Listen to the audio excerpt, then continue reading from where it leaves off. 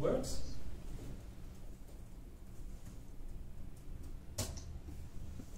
Converting a float to an integer works. Converting float string to integer. Converting float string to integer. Let's ask Python. No. Mm. So, if you want to convert a string to an integer, must the content of the string must be an integer number. Exactly. So no. There is no workaround.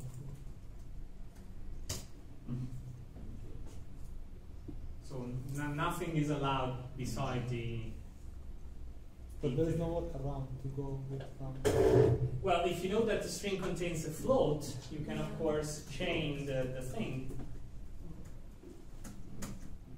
Um, Ah.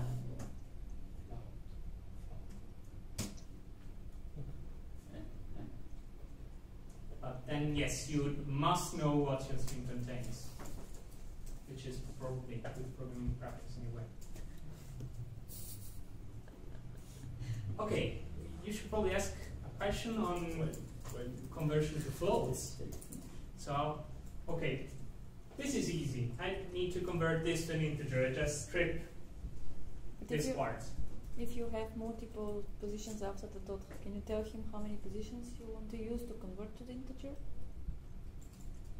Uh, if you want to convert to the Eh, Or I mean, it's in like normal rounding. If I Yeah, let's find out. That's that's the point. So 42.0 we know that's 42. yeah.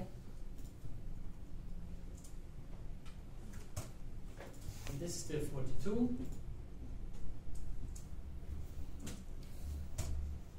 This is still 42.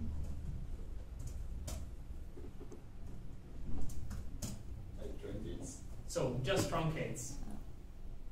If you want to round, there's a round function in the standard library that lets you specify No. rounding. Okay.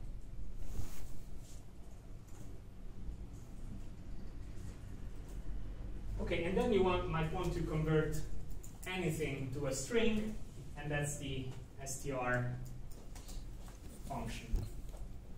That should work with any Python object. Str with nothing just gives you the empty string.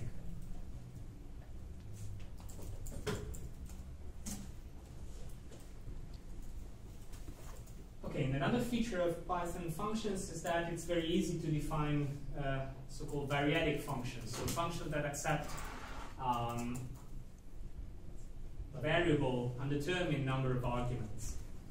Two simplest example are min and max functions, which take a number of objects and return the minimum or the maximum of them.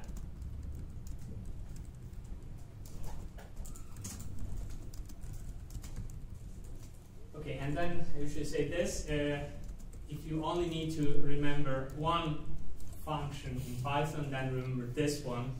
So help on any function name will give you the online help for that function. So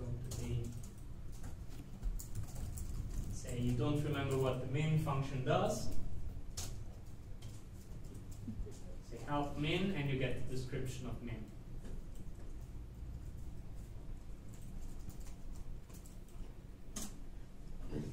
If you run help, the help function, you can also access um, topics, specific topics, uh, in case you don't know that uh, uh, string is str, you can look for strings topics, etc. You can list the topic, etc. Although Google is Google is easy- easy it's, to fa- get. it's faster. Uh, Python tutorial as well. For example, if I want a list of function, like uh, from some library, I can use help. Yeah? Good Yes. question. We'll find out after lunch.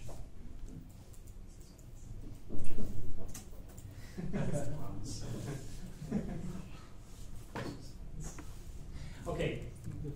So how do you define your own functions, which makes things interesting? Def is the keyword for defining new function. So you say def function name and then parenthesize list of arguments. and then a column. Do not forget the column. That's